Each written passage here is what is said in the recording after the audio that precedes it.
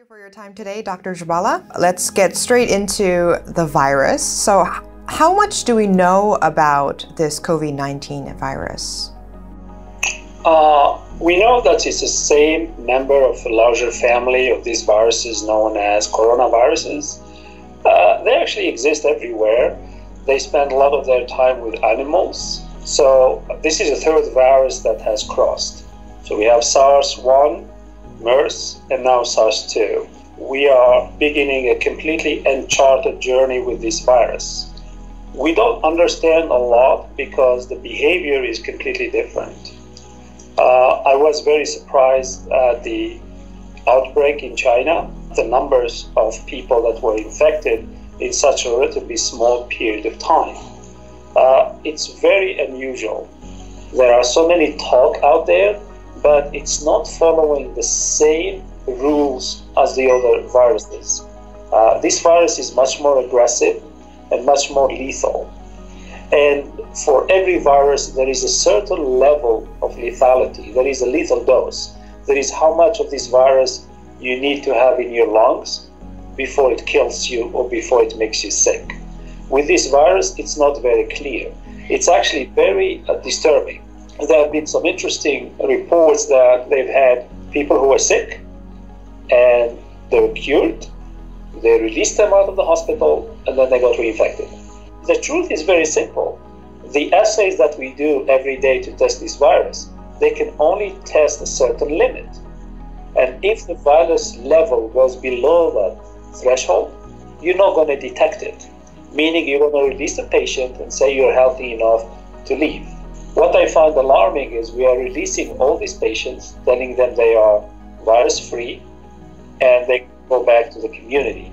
It's not your average SARS, it's not your average MERS. Uh, uh, many people, including me, we start calling it a very mysterious, very cryptic virus because we don't understand it and it doesn't seem to only attack the lungs, it seems to also attack the heart and it seems also to attack the liver. So we're seeing interesting patterns. Not only old people or those with uh, underlying health conditions actually develop this disease. Now, the elderly are really the first category that get affected a lot because as we get older, our immune system declines.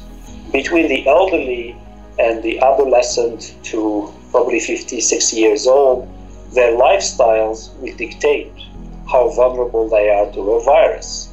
Uh, what I have observed, which is uh, very different to the MERS, is the rate of, of infection of young is lower.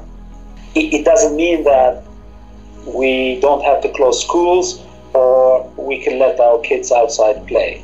It means that for now, these are the trends that we are observing. There are so many unknowns about this COVID 19, and China, the Chinese government, is responsible for this lack of information. Do you think this is actually becoming an obstacle for um, developing a vaccine sooner? China is not forthcoming with a lot of this information.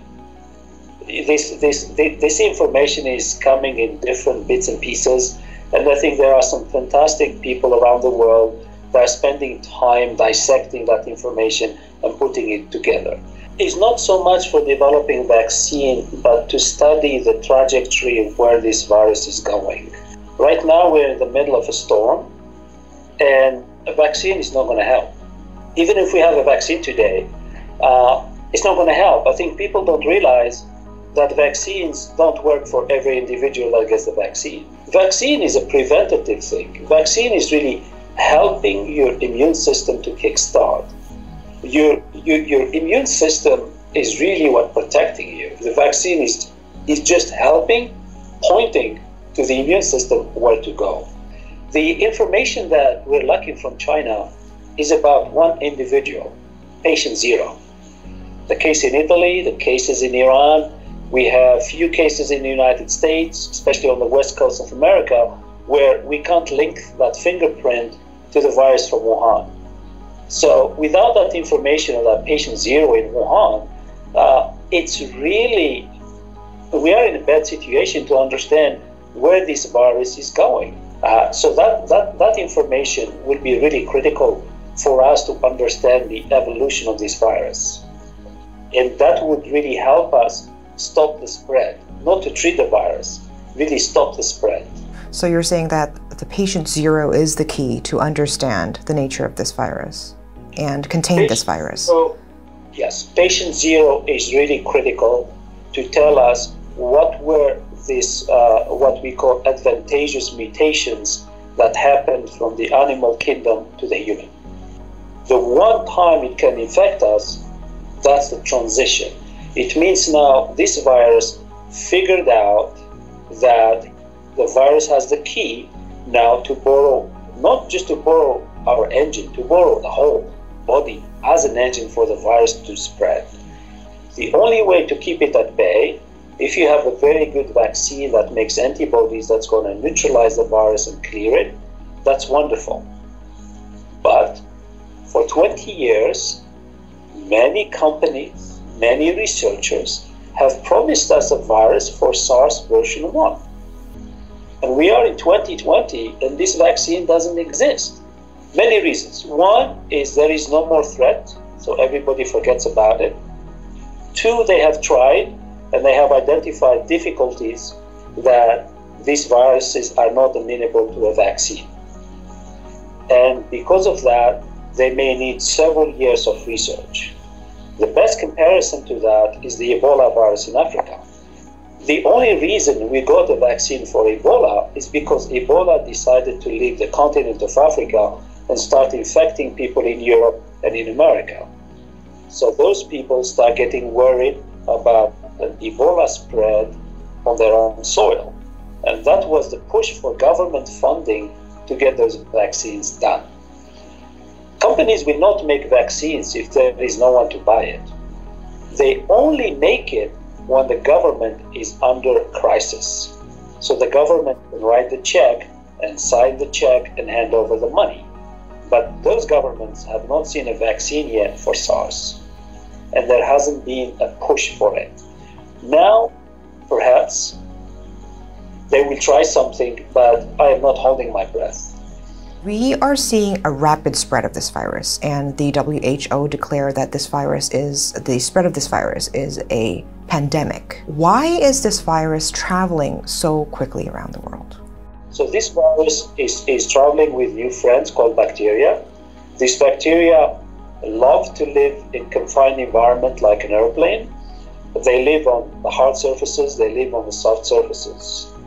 We, as an unaware patients, we're to sit on that seat on the plane. We're to touch everything. We're to read the magazine that 200 people read it before.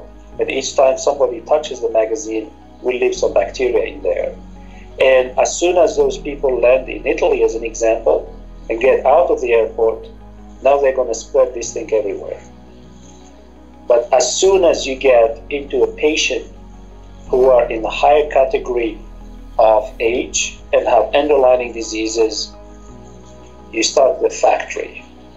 But the virus that woke up in Italy is much more aggressive than the one who left the plane from China. Mutations. So when it woke up, it mutated again, and now it's much more aggressive that the what's going on in Italy today, we can plot it on an exponential curve. It's scary. Korea, the only equivalent is the church. I think the Korean government and the Korean people should be grateful for this church. Because this church provided us the first data of this very, very directional spread. And I think what that church did is really forced uh, the moon government, they forced their hands to go out now and throw away all the definitions of who to test for and what to look for and say, we're going to look for everybody. Foreign media has been reporting that you can go out without a mask. It's actually not recommended to wear a mask. What do you think about this? The, the mask prote- really uh, provides two things the psychology of wearing a mask, so you are less likely to touch your nose and your mouth and your eyes and also not for you to give it to other people, it's what other people give you. And because people will give you things that you're not aware of, those those things can land on your clothes, on your bag, on your cell phone, but you're wearing a mask. Even if you touch those things, uh, the the rate of infection is very low. So the risks by having a mask is very low. I was actually alarmed that everyone has a different story. I think uh, in the United States, the CDC position was very clear because they are afraid of shortages down the road. If they, as an example, the, the church followers were all wearing masks, we wouldn't see five, 6,000 cases. In Italy, they don't wear masks. You saw where the numbers are. And I think that's where the mask plays this uh, uh, protective element, both psychologically and actually when you leave your home, which is your controlled environment, into the public uh, environment outside that you can't control. You're part of it. To curb the COVID 19 outbreak, um, the CDC suggested some non pharmaceutical interventions like taking care of personal hygiene uh, that people and communities should be doing to um, slow the spread of the virus. So, what do you think at this point we should do to prevent the spread of this virus? I think now we understand how the virus is moving, and the containment is at 90%. So, an average Korean is at 10% risk of getting infected. I think at the 10% risk of getting infected, a lot of Koreans will become complacent. I think the Korean CDC is absolutely correct. The way this virus behaved in the church, uh, it's really behaving almost like a bacteria. It's like a non-hospital acquired bacterial infections, and the only remedy for that is hygiene. I think in the next month or two months, uh, the, the weather will change in Korea. It means the Koreans are very outdoor people. They love hiking. They love doing all sorts of sports. And I think that's where we're going to see more of this natural interaction of people that will be very hard to control because they're not crowds. So, keeping on the message by the Moon administration for hygiene, uh, Korea is very good at disinfection. If, if they maintain this on course, uh, I think the number of cases will start going down, whether they got rid of the virus completely or not. And I think this way, at least, uh, uh you know, peace and quiet will come to Korea and, and put this uh, bad episode of uh, SARS version 2 behind them and really look forward to re-establishing some of the damage, especially the economical damage uh, uh, that was done to, to the country. So, what kind of efforts should we make to prevent the spread of more deadly viruses like COVID 19 in the future? Uh, a very good question. I think it's uh, it goes down to two critical aspects. One is preparedness, that each time uh, a patient shows up in emergency with symptoms that no one has seen before, immediately they should be reported across all the healthcare institutions. This is the this is the biggest mistake for MERS. If patient zero, when he showed up at Samsung, was isolated, we're done. Uh, I think uh, Korea has not really embraced this concept of monitoring. Uh, for some people, they think it's Big Brother spying on you. Uh, in 2015, I actually criticized Korean CDC and basically called them lazy, sitting in their offices, and the only thing they do is shove paperwork. Until MERS came, and they found themselves really incompetent to, to actually handle it. Uh, some of the recommendations that came from the National Assembly speak to that. And I think now the Korean CDC have been challenged twice now. So there shouldn't be a third time. And I think this monitoring should be already in place, not just to protect humans, but actually to protect the livestock in Korea. Uh, with regard and with respect to the Korean pharmaceutical companies, uh, uh, when I came to Korea, I was actually amazed at the infrastructure that these companies have, but I was disappointed at how many times the Korean government bailed them out using taxpayers' money.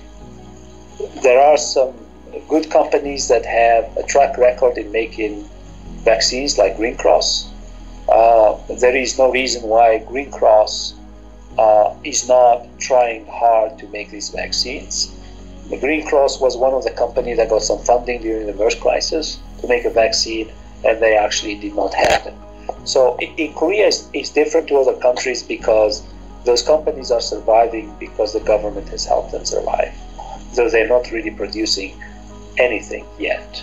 Uh, but because each time you give them money to do something, and then the problem disappears, and no one holds them accountable for that, we, we don't have a vaccine today. So I think monitoring as part of preparedness uh, is very, very critical. I think that would really help uh, the uh, emergency protocols to be activated. It means we start monitoring the borders. And if we know that this threat is coming from a specific country, we shut the border. I think that would make Korea much, much safer.